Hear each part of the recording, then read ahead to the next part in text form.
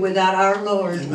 He takes us through so many things that He sees us through so many things that no matter what storms we go through, He's always there to take us through it.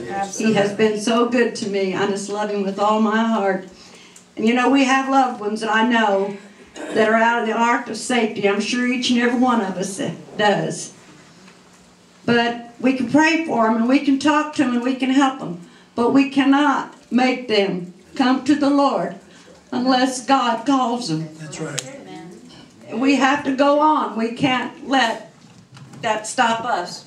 Amen. We still have to go on and That's serve true. our Lord. That's true. Absolutely. I can't help what others do.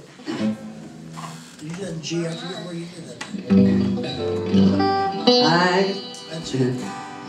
I can't help what others do. I'm on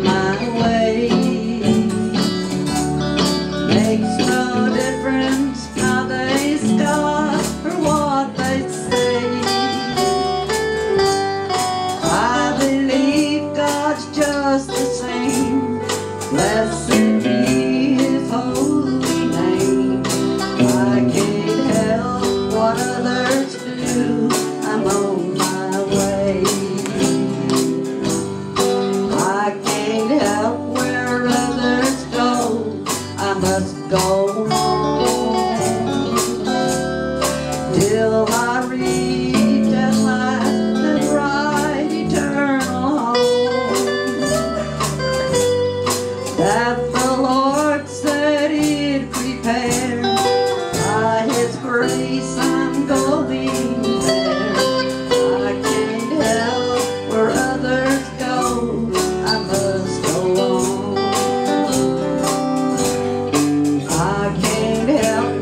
Satan tries. He can't stop me.